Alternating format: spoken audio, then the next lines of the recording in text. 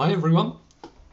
Now, as part of this virtual world tour event, I am going to walk you through the labs for this section of the event. So the first thing we're going to do is go to cloud.oracle.com, which will bring us to this page here. From here, given that you're going to want to try your own hands-on experience with Autonomous Data Warehouse Cloud, you can do that by following the link here, try for free, and we'll walk you through the process of setting up an account uh, with free hours so that you can run this lab uh, and then carry on going through the bigger lab that we have online um, to get the full experience of using Autonomous Data Warehouse Cloud. Once you've signed up, you'll get an email and then you can click on the sign in button. And the first stage is we're going to give you a tenant name. So I already have my, my own tenant, which is here. And along with the tenant, you're going to get a username and a password. So first thing for me to do is to sign in and this gets me into my dashboard which gives me access to the whole suite of our cloud services.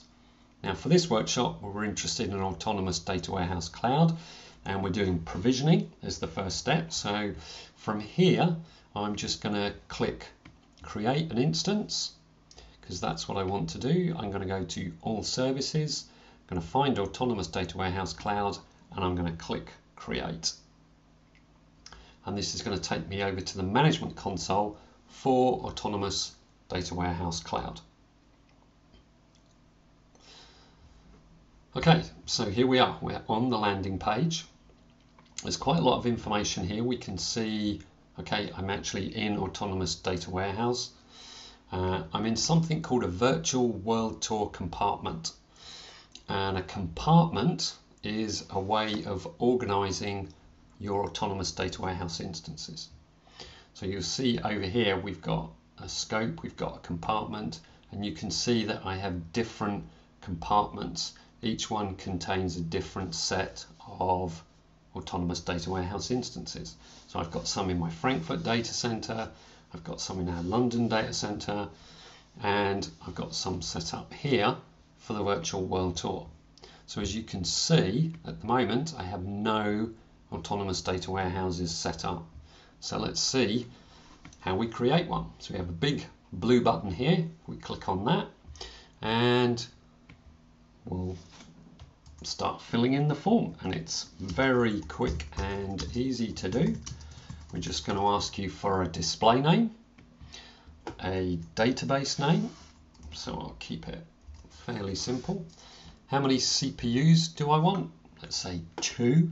I can go up to 128 if I want.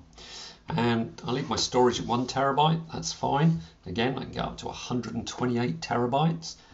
Doesn't matter how many CPUs or how much storage you allocate here. The time it takes to provision and make your service available is the same.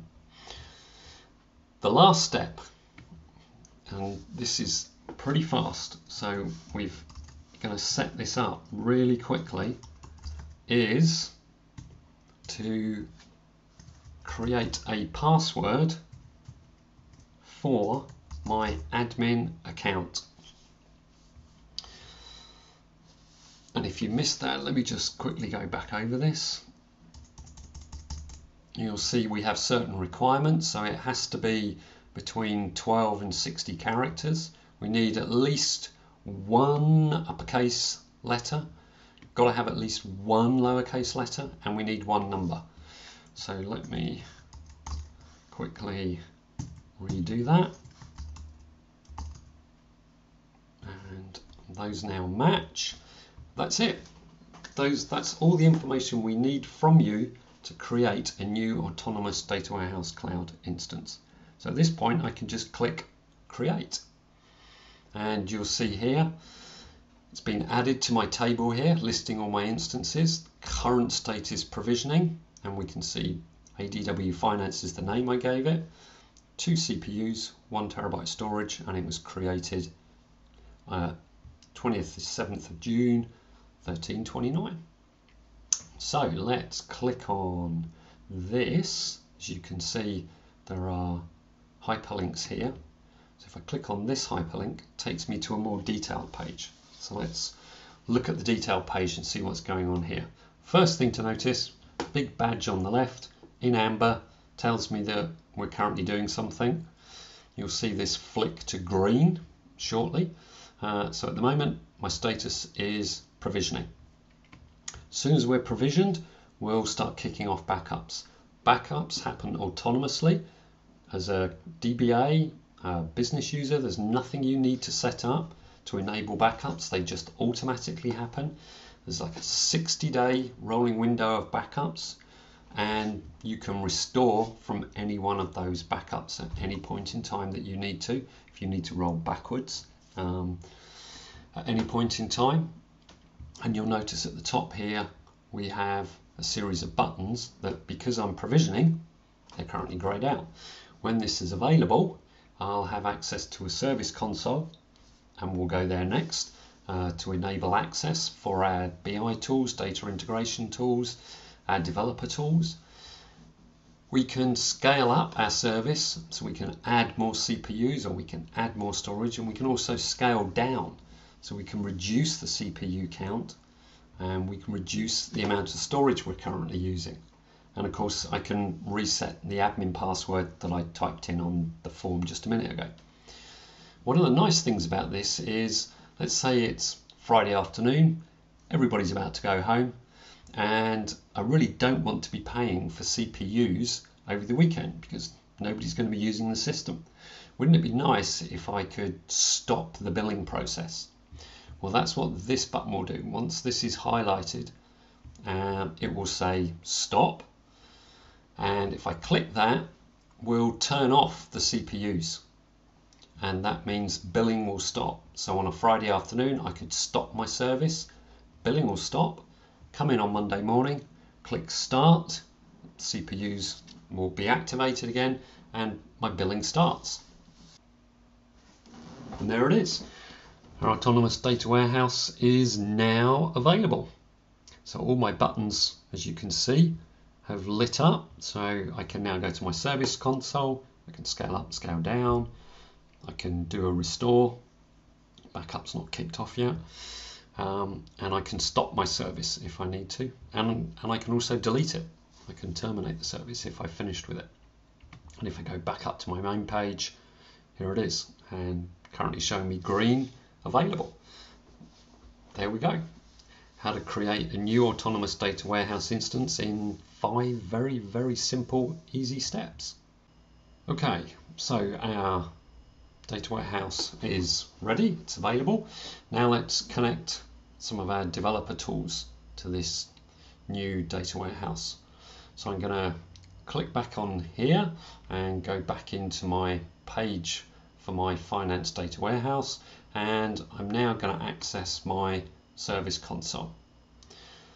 So I've got my admin account which is the one that we saw was set up by default when we created the instance and here's the password that I entered on that create instance form. So if I log in, I'm going to land on the management overview page. So this is my dashboard. This tells me everything I need to know about what's going on with my instance. Course, I've just created it, so there's not much going on at the moment. So what I need to do right now is go to the administration page. Now, Autonomous Data Warehouse Cloud uses secure wallets. So we need to provide tools with a zip file containing the credentials to access our autonomous data warehouse, in this case our ADW finance instance. And to do that, we download a credentials file. So if I click on that, and I'll give it a password,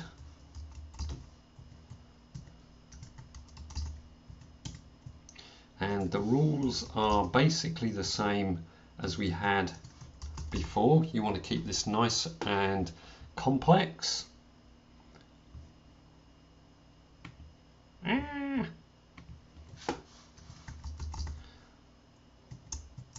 So complex you can probably not remember it.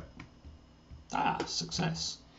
Okay, so now I can save this zip file which is going to contain all of the security information that's going to allow me to connect to my autonomous data warehouse. There we go. That's my first stage of my setup. The next stage is to make that available to whoever's going to use, let's say, as you're going to use in the next lab, SQL Developer. So now let's swap over to SQL Developer and see, having got that download file, how we'd use it.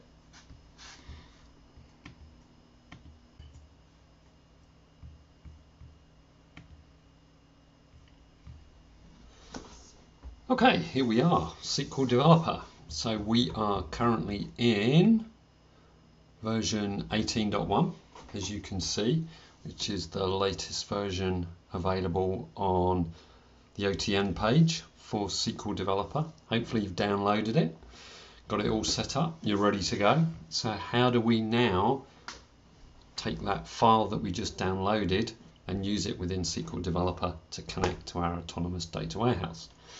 So the first thing we do is with, from within the connections dialog, click new connections. You can see I've got no connections here. So I'm going to create a new connection.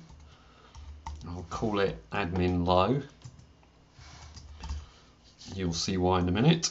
And admin is the username.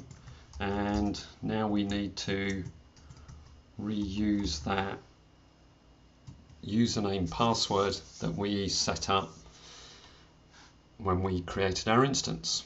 Okay, so I'm just going to click save that password so I don't have to keep entering it every single time. Now the connection type, we need to click on that and we're going to select Cloud PDB. So click that and you'll see this changes now.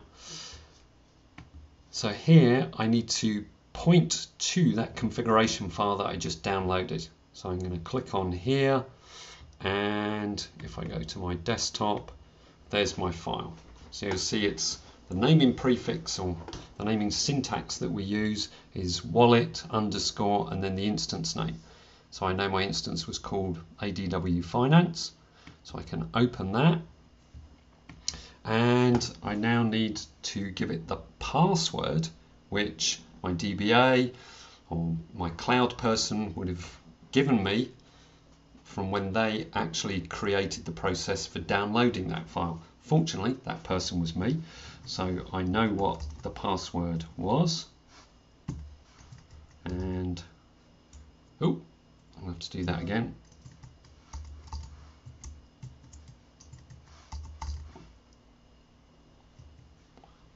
Okay, so now, up here, you'll notice I said admin low. You're probably wondering why. We, when we create an autonomous data warehouse, you'll see here, I've got three entries to identify my service. High, low, medium. And we're going to look at these in a bit more detail in one of the next labs. For this lab, I'm going to take low. Now I can quickly test this and make sure that it works. Yay, success. So I know the connection works. I know all the details that I've provided are correct. So I can now connect. So let's see if that works. That will appear at the top here. Here it is. I can now I've got my SQL worksheet. I can expand my tree and this will show me all the different objects that I can create. Let's see if we can query anything.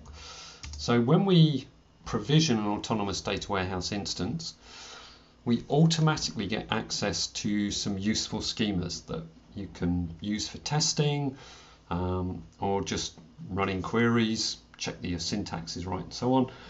One of them is called SH and we'll be using that in these labs and I'm gonna check that everything's set up correctly by querying one of the dimension tables called channels.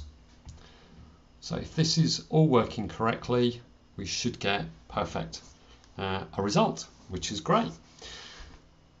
Now I said we had three resource groups. What I want to do now is create another one of those, these users or another one of these connection types, but this time I'm going to call it high and I'm going to change this to ADW Finance High and you'll see why later on in one of the future labs. Okay, let's test that. Success, good. I will save that. And at this stage, we can connect as well because we can have as many connections open as we want.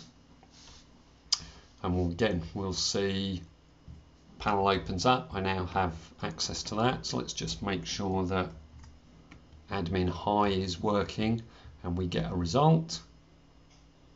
And admin high is working and we get a result. So we're connected to our autonomous data warehouse. We can return data from some of the pre-built data sets that we provide with the autonomous data warehouse instance.